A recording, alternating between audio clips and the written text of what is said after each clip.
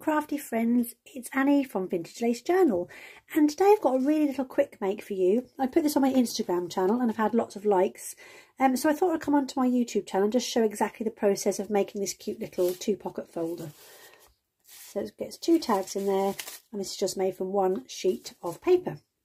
This part can then be um, stuck into your journal um, and your pockets are on the front. So all you need to make this is I've got a compass with a pencil. However, if you don't have a compass, you can use something round to just draw around, a plate, um, some um, sticky tape, or if you're really, really good at drawing circles, freehand it. But it's best to have something to, to go round. Um, so first of all, I'm going to show you what we do to start off with. So I've got a couple of different papers here. I'm going to try different ways. So first of all, I'm going to make my circle. Just making sure that that will fit on here.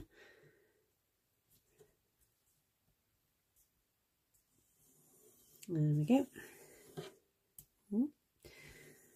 Going all the way around. And this is going to keep moving, that needs to be tightened up.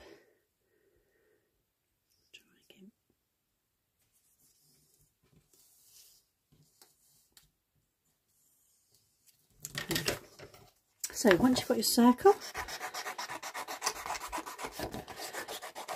cut all the way around.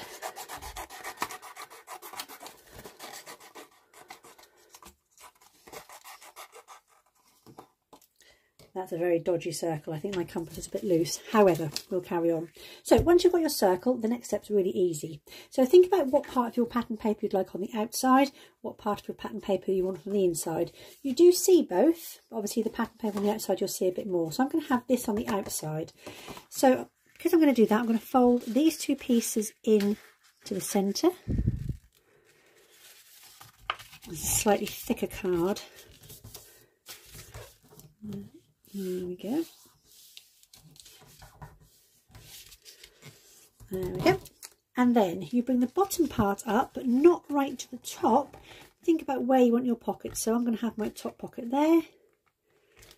So I'm going to fold that along there. And just really burnish those creases to get a good strong line. So the next thing you do is you open it up, bearing in mind where this line is here, this is where you're going to cut. So then open that up there and I'm going to make a cut in from this line here into the centre and from this line here into the centre. I'm just going to close my curtains, I'm getting some sunlight through. Okay, okay. so cut along that line there to where the flap comes in and do the same on the other side. So cut along the line to where the flap comes in. Okay, so now you're going to fold that up. This time, instead of having those inside, you're going to bring them round to the outside. And that forms your two little tuck spots on the front, like that. So all we need to do now is go in with some glue. So you need to glue along each side of the pocket here and I come up just a little bit on the edge here not too much because we don't want to obviously cover this up but just just tiny little bit to hold that pocket there. And again a little bit of glue down the bottom and slightly up the edge there. There we go. That's formed our first pocket on the back. So then you're going to want to bring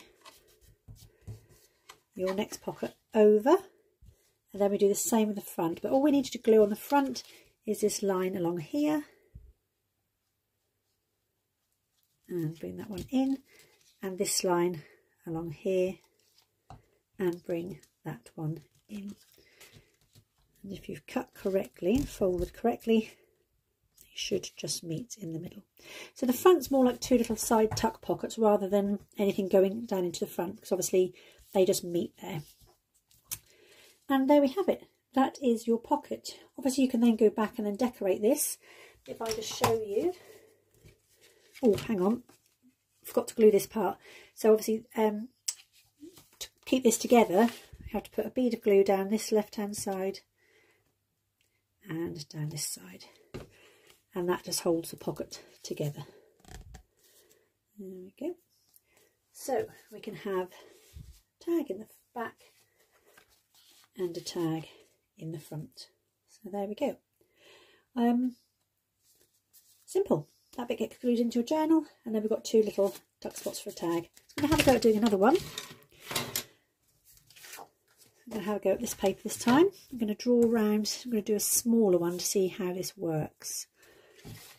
So I'll just get my pencil and draw around my circle and then cut it out.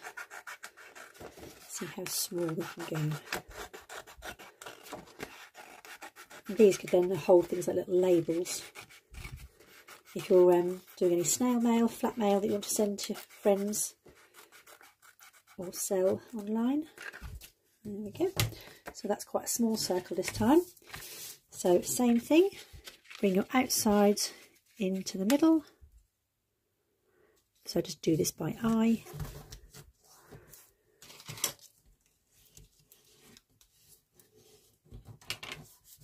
There we go. And then bring the bottom part up to the top, making sure those side pieces line up. You give that a really good crease. Then we bring it down, open it up, and then we snip along those two lines there. So where that line is, just snip in to where the fold joins there. Again on the other side, so where your line is, cut along to there. And then we do our gluing. So a little piece of glue on there and there. Just hold that so it takes.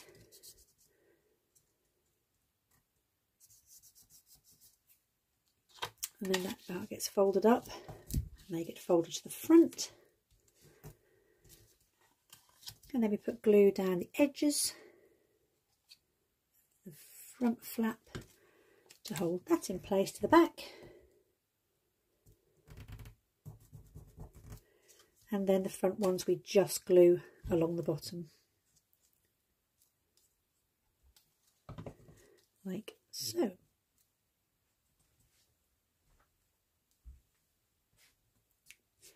Hmm.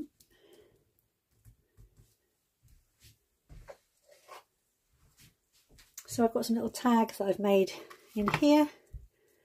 So they're nice cute little tiny pockets just to pop some smaller tags and ephemera in.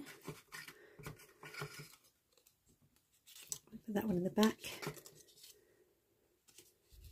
And then a smaller one to go in the front two pockets. And there we are, another little loaded pocket. These are super cute, super easy to make. And again, so it's just from one circle of paper with a fold that I've shown you. And so there we can see different sizes, different coloured papers and different effects. And I think actually they make a really nice um, addition to any journals. So I hope you enjoyed this video today. Hope you have a go yourself. Thank you for my new subscribers. I'm overwhelmed by the amount of support I'm getting at the minute. It's absolutely fantastic. Um, don't forget to follow me on Instagram at Vintage Lace Journal 75 and I hope to see you again soon. Bye.